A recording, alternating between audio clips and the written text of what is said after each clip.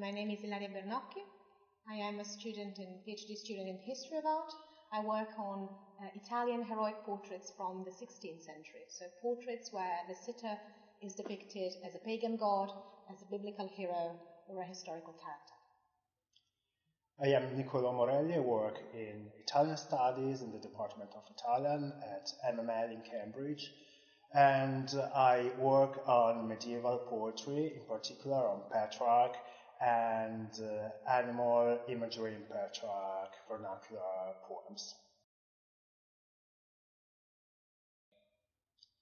Last year in July, I think, Ilaria and I uh, had the idea of organizing a seminar together, one of those department seminars about specific topics uh, on uh, Petrarch and portraiture. But at some point we realized that uh, we could open the workshop to many other scholars uh, from all over the world and uh, organize instead of um, seminar, a conference or a symposium. So we, we published a call for paper, it was extremely successful, there was immediate interest for this project, and um, the conference came together as a dialogue between um, specialists from different fields. So Italianists, but also art historians and also historians. And uh, it was great to have so many different voices, so many, so much interaction between specialists who don't usually perhaps have the opportunity of hearing um, the other voice. Uh, and it was really a success, a brilliant discussion, a rich discussion, very diverse points of views, and we're very happy that we decided to uh, let other people talk and create an entire day of discussion on this topic rather than a simple seminar. The day of the symposium was concluded brilliantly by a keynote lecture given by Dr. Federica Pich from the University of Leeds. Uh, Dr. Pich is a young, brilliant scholar who's written extensively on the relationship between poetry and the visual arts, especially portraiture.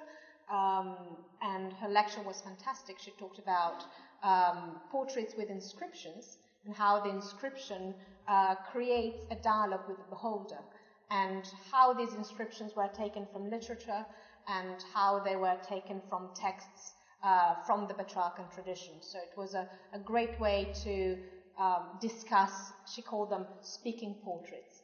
And we were very happy and very uh, honored to have her participate in our symposium.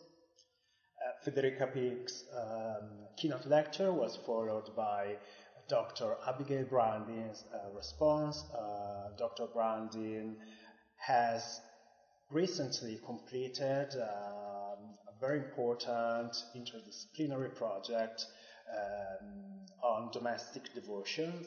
Uh, and so her contribution was particularly helpful to um, illuminate the overlap and the interplay between uh, word and image uh, in the Italian context of home. Uh, and uh, Abigail Brundin, in particular, emphasized that in Renaissance houses in Italy, Petrarch's writings and uh, Petrarch's poems, vernacular poems, love poems, were uh, kept and stored uh, alongside scriptural writings and the Bible itself. So this is just to uh, note and to uh, point out the importance of Petrarch for Italian poetry, but also for Italian culture. So the aim of the symposium was to investigate for me the other side of um, the, the field of arts and humanities. So um, I just I wanted to, with the help of Ilaria, to see what the influence of Petrarch uh, was in the field of arts. And this is very helpful, and the conference, the symposium, uh, helped me to understand the role and the impact of Petrarch in um, in arts and in uh, in uh, in the history of art. Um, it was, I think, uh, a very great day, a day of discussion, a day when scholarship made a tiny step forward.